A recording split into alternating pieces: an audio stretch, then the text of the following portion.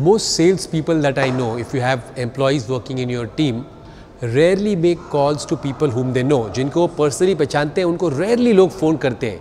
I have noticed this across more often than not. You know, instead of telling people that you know you get your best results from people whom you know, people prefer calling strangers. They don't call people whom they know. Why is that? I'll tell you what. Most employees, like anybody else, people have this thing called, you know, it's fear of rejections. It's called the LKS syndrome. लोग क्या सोचेंगे? You know, the point is लोग क्या सोचेंगे when you call up. You're not calling them up to pitch.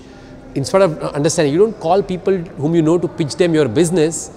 You teach your salespeople that they call up these people so that they can get potentially find out if they can reach out through them to someone who's a potential audience.